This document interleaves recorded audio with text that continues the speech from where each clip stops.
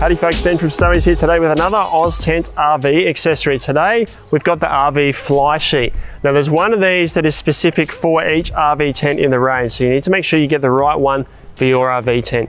Now they're made with a ripstop nylon. The sides here are just green, but the top, also ripstop, has got a silver coating on it. Now a fly sheet does a couple of things with your Oztent tent. Now being a single skin tent in cold weather, if you don't have the fly sheet on, you can, can get condensation right inside the tent.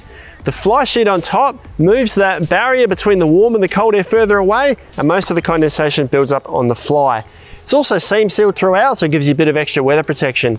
In the warm weather, a fly sheet creates a buffer between the sun that's hitting your fly sheet and the sun that's hitting your tent. So it, it lessens the temperature inside your tent.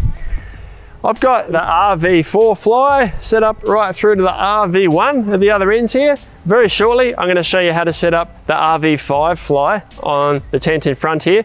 One thing I will note though, that the RV4 fly is also compatible with the RX4 tent and the RV5 fly is also compatible with the RX5 tent.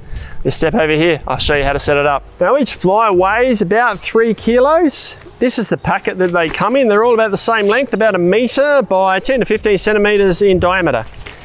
I'll show you what comes in the bag. So inside the bag here, uh, this is the bag at the front. It's all secured with a little strap. This is our fly sheet on the bottom. You get a couple of 1.6 meter aluminium extendable poles.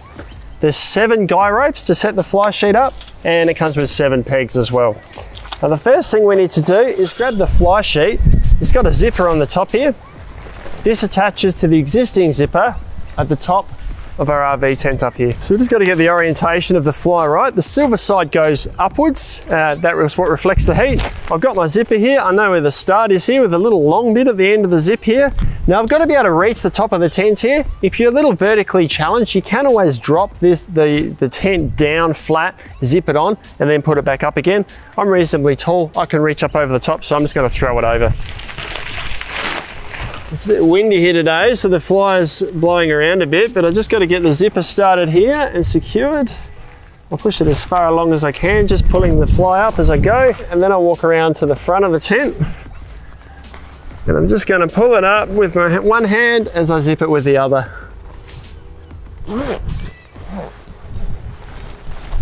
That's all done up. Before I put any pegs or anything, I just want to make sure that this storm flap is stuck down on the Velcro tabs here. That just gives us water protection where the zip is. That's our uh, zipper and storm flap in place. What I need to do now is put the guy ropes on. All the guy ropes come separate with your fly. Now you've got a couple of options here. Probably the best option to tie the guy rope on each corner is this little loop that's sewn in here. There is also an eyelet on each corner of the fly. I guess that gives you setup options. If you get extra poles, you could sort of pitch this out as a little awning if you like, but as the fly comes, there are a couple of poles that fit into these eyelets here, just to separate the fly from the inner tent, and then we peg these out on each side. So I've got seven guy ropes to tie on in total. There are two poles to put in place. If we put them in now, they're just gonna fall over. So I find it's best to put all the pegs in place and then we can adjust it for the poles later. So I'll grab seven pegs and put them all in. So now we'll just put the poles in place. Now, I guess you could use it without the poles, but ideally what the poles are there for is to separate the fly from the main tent so that if any condensation occurs on here, it's not dripping on the tent and it also creates that buffer in between.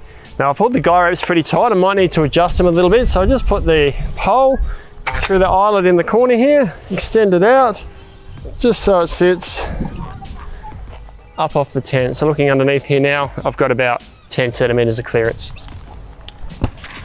That is how you set up the fly sheet on an RV tent. It's a great accessory, extends the life of your tent because it keeps it out of the sun, gives you a bit of extra weather protection, makes it a bit more comfortable inside. You can pick them up off our website at snowys.com.au for lowest prices every day and free delivery to pretty much anywhere in Australia. I hope that was helpful. We'll see you next time. Hey guys, before you go, if you thought that was useful, you might be interested in our other Oztent RV10 accessory videos like this one down here, or give us a like, leave us a comment, or subscribe to our channel, and you'll find out about all the latest and greatest content as soon as it's posted.